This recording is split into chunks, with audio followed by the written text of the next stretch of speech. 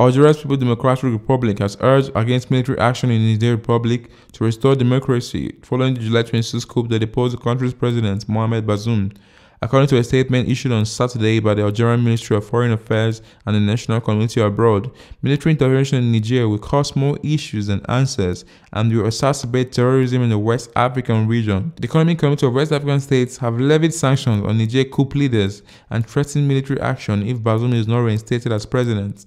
It has also stated that to pursue diplomacy to address the political problem. However, Abdel-Fatau Musah, the ECOWAS Commissioner for Peace and Security, announced on Friday that 11 of the organization's 15 member states have agreed to commit soldiers to military deployment. He stated that they were ready to go as soon as order was given. The Algerian government, on the other hand, has urged care in addressing the matter.